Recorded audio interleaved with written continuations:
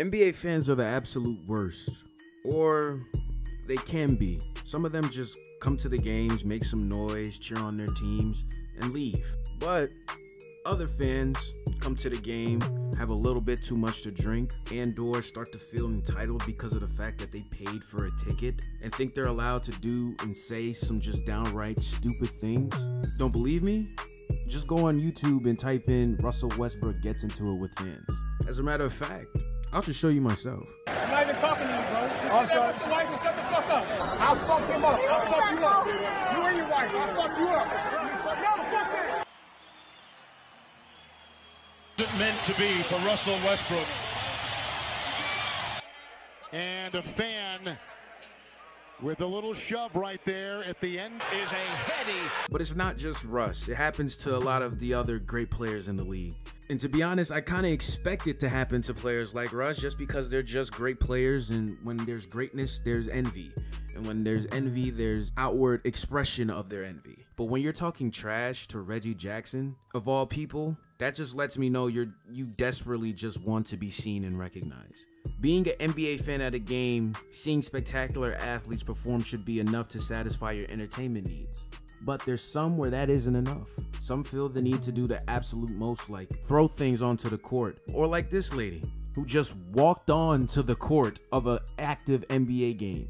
Now, they all got ejected at least and were rewarded for their stupid actions, but that still doesn't excuse the just stupidity of their actions. And it never will justify the actions of fans who do those outrageous things. Like, just think about it. If that fan years and years ago, Detroit Pistons versus Indiana Pacers, if that fan would have never poured that drink on Ron Artest, we would have never got the malice at the Palace. Now, depending on who you ask, that may be a good or bad thing. But I just know that situation would not have escalated the way it did. But that's enough about the terrible NBA fan. Well, at, least for now. I want to talk about some of the cool fans again. Like the guy who played catch with LeBron for a brief second at an NBA game. The fans that get to go out onto the court and like heave up a shot from half court at a chance to win $100,000. And if they make it, players like LeBron and Kevin Durant bum rush them and tackle them and celebrate with them. Those are good moments with fans that you would like to see. You also like to see celebrities at games. Some fans like Rihanna. Rihanna, that's that's crazy. But uh, um, I'm losing focus. But um, and we like seeing celebrities at NBA games, whether it be another athlete from a separate sport, whether it be an actor like Denzel Washington, or I don't know, Phil Phil Nicholson. That's the guy, right? The guy who's always at the Laker games. Phil Nicholson. It's not my name. Like Jack Nicholson. He's always at this court side of a Lakers game whenever they find themselves in a marquee matchup. Or the great Spike Lee, or at least we like to see former NBA players. Well, take for example Charles Oakley. I mean, besides the fact he got thrown out from the game for still I don't I don't I don't think there's any explanation as to why Charles Oakley was ejected from that game that one time. But yeah, we love seeing celebrities, even if they don't even know what's happening on the court, like Zlatan Ibrahimovic or Emily Clark. that's her name, right? Emma, Emily Clark. What's the girl's name from Game of Thrones, right? Is it Emily Stark? 12 seconds later. Emilia Clarke. That's her name. Emilia Clarke.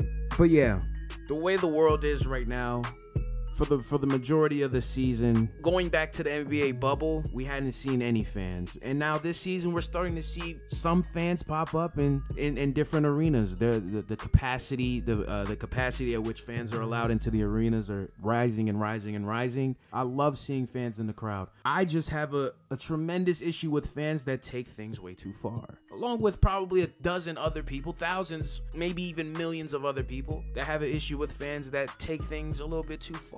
But I can't lie, I can't lie. Sometimes, sometimes those interactions with those fans, I guess if you want to call them that, are entertaining. And in this time in the NBA, basketball itself, for a lot of people, is not cutting it. They need to feel like they're actually watching an event instead of just watching people just play a game. And the fans play a part of basketball, a basketball game being an event. So yeah, NBA fans can be the worst, but they can also be pretty cool as well. And as the pandemic and all these restrictions start to loosen up and we start to get fans back into these games, we're gonna see a lot of fans do some some stupid stuff. I mean, we already kind of seen it with courtside Karen, but as arenas start to get filled up even more, we'll see a lot more. We're gonna start seeing a lot more stupid fans do stupid things. Moral of the story is if you find yourself at an NBA game, just act normal. I promise you, you're gonna have a great time. Just act normal.